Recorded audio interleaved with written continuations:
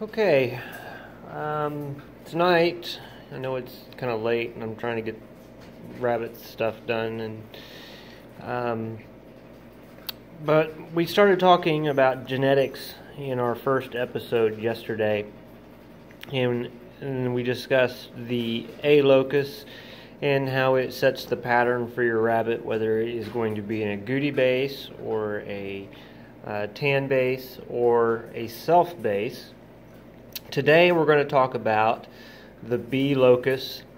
Uh, the B locus is entirely uh, going to set whether your, your rabbit is based off of a black color or off of a chocolate color. Um, it's an actually one of the easier locus points to understand. And so, just as in the A locus, we have two different genes. One is going to represent the color of the rabbit that we visually see.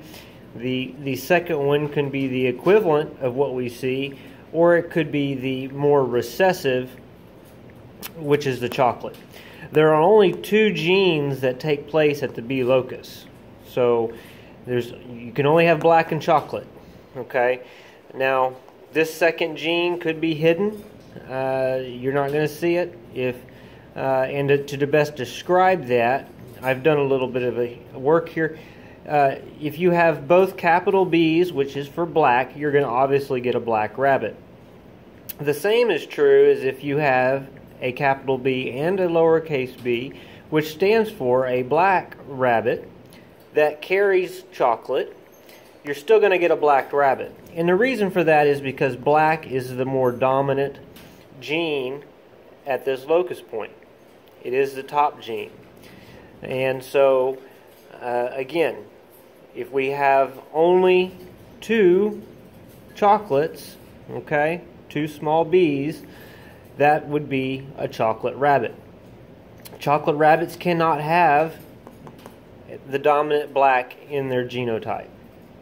Okay? Now, some people will say, well, yeah, you can say that, that, that chocolate, we know that it carries chocolate. Well, because there's nothing recessive more recessive than this chocolate, we're always going to write our chocolate rabbit as BB. It's the same as if we have a self.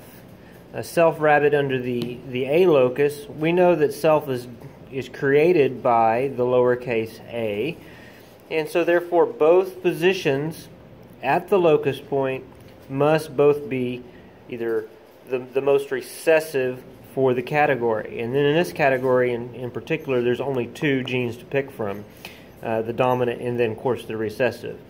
Uh, I'll grab a couple of rabbits and I'll show you what uh, a black and a chocolate look like.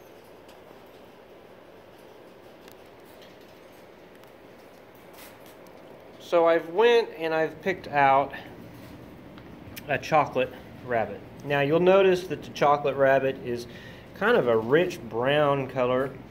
Uh, this is actually a chocolate otter. And you can tell that she's an otter as we learned in our first episode based upon her white under her chin. And she's got a little bit of white around the eyes, white under the chin, white belly. And then we also, again, same as in our otter that we showed yesterday, this light bit of ticking right here along the sides. She also has this little bit of little patch here of lighter lighter colored